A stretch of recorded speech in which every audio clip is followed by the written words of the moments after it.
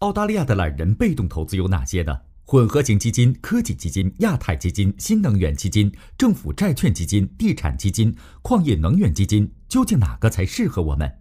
欢迎大家收看本期 Go Markets 独家解读。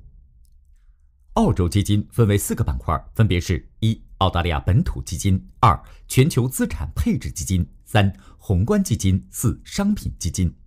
今天我们针对第一部分澳大利亚本土基金中的宏观类基金，给出几个推荐：一。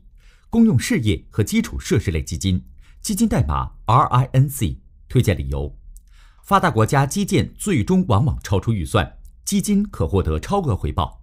二、分红类基金，基金代码 VHY，推荐理由：澳洲高分红基金吸引着全球投资者，该基金筛选了有超高分红的优质上市公司进行组合。三、债券类混合型基金，基金代码 VAF，推荐理由。澳洲政府债和企业债回报较高，企业运行相对稳定。该基金是投资级债券的组合。四、锂矿和电池技术类公司，基金代码 ACDC，推荐理由：澳洲锂矿丰富，目前新能源电动车对锂矿需求旺盛，该基金能够享受行业红利，同时降低单个股票大幅回撤的风险。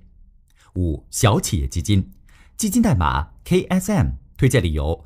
澳洲仙股很多，风险较高。该基金通过专业筛选出财务稳定、潜力更大的小股票投资组合。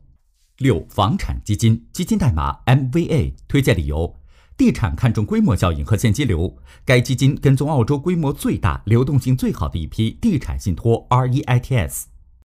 下一期我们会针对澳大利亚本土基金，根据行业，例如医疗类基金、矿业类基金、新能源类基金等分类，给出分享。今天的内容就到这里了，感谢大家的观看。大家如果想要获取详细的文字报告，可以扫描屏幕上的二维码。在悉尼的朋友也可以直接拨打我们的电话零二九一八八零四一八。喜欢我们的内容，记得点赞、收藏并关注我们的频道。下期节目再见。